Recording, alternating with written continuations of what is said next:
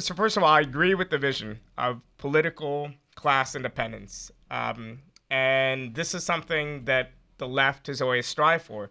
Uh, all portions of the left, the great struggles of the 19th century, the struggles of even the construction of the Second International and whatnot, were about creating political independence and creating political independence from liberalism, uh, in in particular. Both the Lassalleans and, and the Marxists uh, were were fighting for this.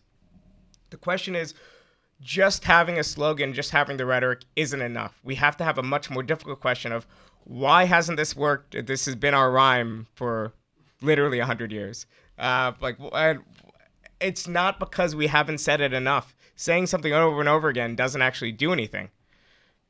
It hasn't worked because of a variety of factors. One was the extreme violence of the US state, suppressing the workers' movement in the 1890s, using the force of the U.S. Um, state to scatter the Socialist Party in the 1910s, scatter the IWW, scatter all these these these movements. There's a variety of other more boring political science, you know, answers. One is that uh, you know, U- U.S. workers had a uh, many of them had already had suffrage and already were voting for two major parties, and the ballot system was designed to prevent the emergence of third parties. Um, and some of them were just contingent. There were certain moments we had the opportunity to build an independent party in the 1890s, the 1920s, to some degree in the 1930s and 40s, but those avenues weren't pursued partially as a result of the trade union bureaucracy, partially a result of mistakes by leaders, partially the result of just trying those those things but but failing. But the failures weren't just a string of failures; they were cumulative. You know, one failure made it harder to do it the next time, the next time, and the next time until we end up in our fairly miserable uh, present, where the majority of Americans don't have a party that that represents their majority interests. But I think there's a difference between the response to that by some members of the socialist um, left, the majority response in the American movement has historically been, therefore, we have to deal with what we have. We have to go into the Democratic Party and we have to realign the Democratic Party and make it function something like these European labor and social democratic parties have. That was the old strategy. I think there's a there's still portions of DSA and portions of the left that is pursuing that party in certain in certain ways. Um, this is the uh, kind of strategy of the Justice Democrats with uh, Alexandria Ocasio Cortez and others are are uh, associated with. What we're proposing, people around Jacobin others, is something different, which is just simply we are using the Democratic ballot line and we are running as open socialists with our own programs, our own basis of funding, and we're using that bully pulpit to run competitive races that sometimes win and sometimes don't. And we're making socialism relevant to millions of people who never heard of socialism before as a result. Now, is that political class independence or is it not? If I run tomorrow on a Republican ballot line in, in a city, in a partisan race, and I run as an open socialist, I run with my own source of funding, with my own 10 point program, am I now a tool of the Republican Party? It just we uh, it just doesn't make sense. It doesn't seem logical to me. I'm not saying these parties are empty vessels to be transformed. I'm saying that we could use propagandistically the ballot lines, and it's actually been working. So th- this was a theoretical discussion. I used to have this debate with ISOers uh, three, four years ago, and I thought both positions were reasonable, and it was a reasonable debate then. I believe this debate has been resolved, and that tactically it's been useful, and tactically it's still been an independent left uh, strategy to connect our disparate, really small working socialist movement with a wider workers' movement. John, do you think that it's been resolved? Uh, absolutely not. I mean, I, I think that's still the key question that needs to be uh, sorted out. I mean, it is true that that you know DSA growing to fifty thousand members. I think that's fantastic uh, development. It shows uh, not only are people calling themselves socialists, but they actually actively want to get involved in something. Um, but but it is true that it is a very broad, amorphous. Uh, when you talk about 95 million people in a poll that sort of say, "Yeah, I'd be open to socialism," that doesn't mean they've read, you know, Marx, Engels, Lenin, Trotsky, whatever. Doesn't mean they necessarily have to, uh, as long as they're fighting around a, a clear program that I would argue has to transcend the bounds of capitalism. But it is a huge step forward. Um, but I was, uh, you know, Bernie Sanders, there's no question about it. He blew things wide open and put socialism on the map in a way that I would argue had never happened in this country before. Uh, I mean, the last time socialism was, was, that popular was back when Eugene Debs was thrown in jail. I mean, you know, literally 100 plus years ago.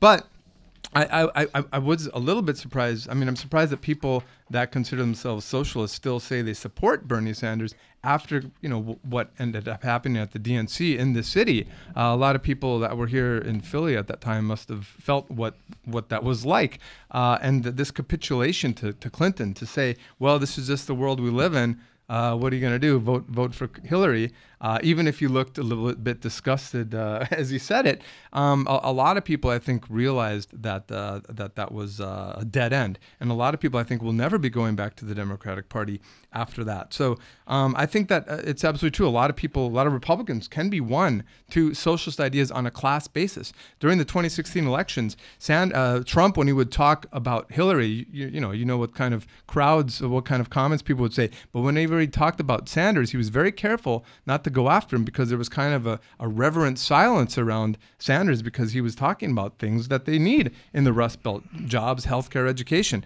Um, so I think that that's. Uh, uh, interesting that on a class basis, both of those parties can be blown apart. It's not going to be just the, the Democrats, but the Republicans.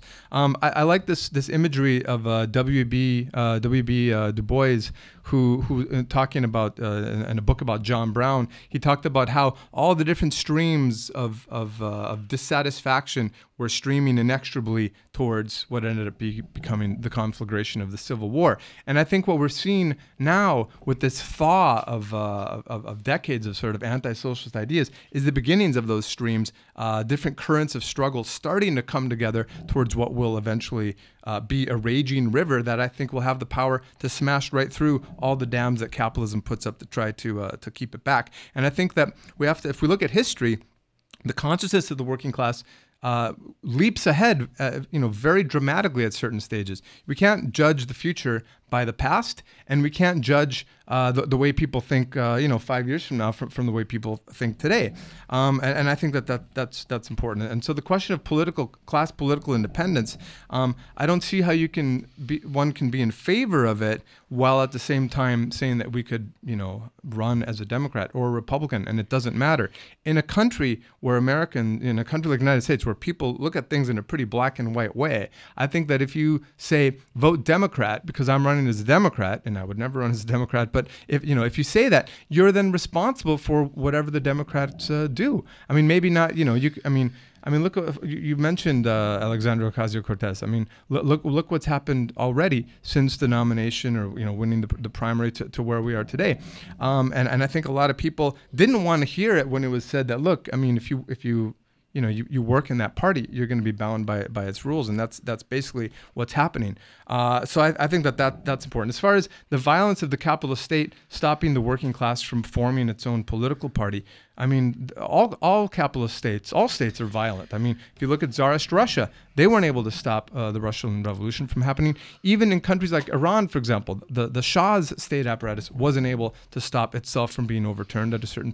And pretty much every country uh, in in the in the so-called advanced uh, you know capitalist world has a workers' party, you know, or at least one, at one point did a mass socialist party, communist party, labor party, etc. Some political vehicle for expressing themselves. They weren't stopped. So I don't think it'd be fair to say that there's a there's a unique American exceptionalism that has prevented that. I would argue, uh, and you kind of alluded to this, that it's by mistakes of the leadership, the mistake of, of the leadership or the lack of a leadership that understands the need to do that. The fact that uh, several times when there were opportunities to move in that direction. For example, in the 1930s, with the rise of the CIO, which was an elemental class struggle uh, taking place in the big new industries that were you know erupting in uh, in all parts of the country really uh, you had a new kind of trade unionism a new workers movement emerge and there was the possibility to give that uh, a workers expression you have states like Minnesota that did have uh, a, a, farmer labor party that actually went had a pretty advanced program and actually pretty advanced uh, conditions for the working class in Minnesota in the 1930s compared to what we have to deal with in the rest of the country today.